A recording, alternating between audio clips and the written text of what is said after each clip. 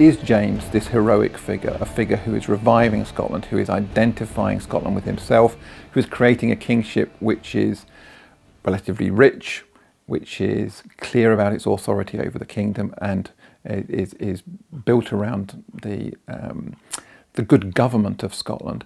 Or is he a king who is uh, ruthlessly crushing any potential opposition with the aim of, of simply acquiring possessions? The king was well disposed towards the acquisition of other people's goods as one. The thing about James really is that he's a massive contradictions, and that's what's interesting about him as a dramatic character, really. So um, he really comes into his own, and you start seeing his power towards the end of Act One after really not being sure what kind of man he is. He seems to be a poet, a warrior, a lawgiver, um, and these priorities are kind of jostling for attention within him. And for my purposes, I thought it is quite interesting to imagine the character of this man who is, in a sense, trying to make a society where there's more chance of peace, there's more chance of law and order, as a kind of ideal, as an intellectual ideal that he wants to, to bring into Scotland.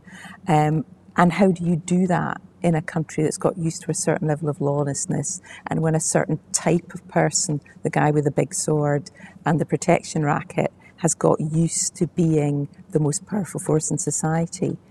When you then also have that thing of how Scottish are you anyway? So he's a man trying to do the right thing. Um, it's just he's in a context where he doesn't quite know what the right thing to do is.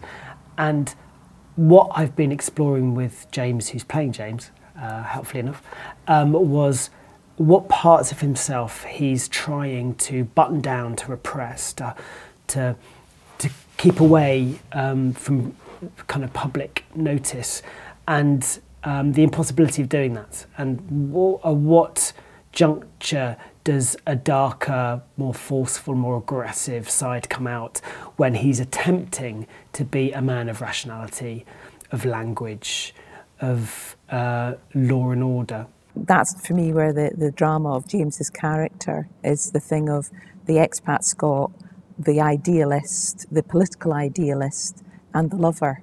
And oh, those three things cannot be reconciled without conflict. People give him such a hard time. I absolutely love him. I think if I was him in his position, I would do the exact same as what he did. You'll have to come and see it to find out what he did.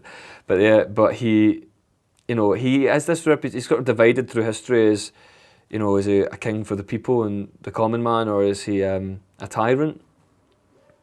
I think he's marvellous.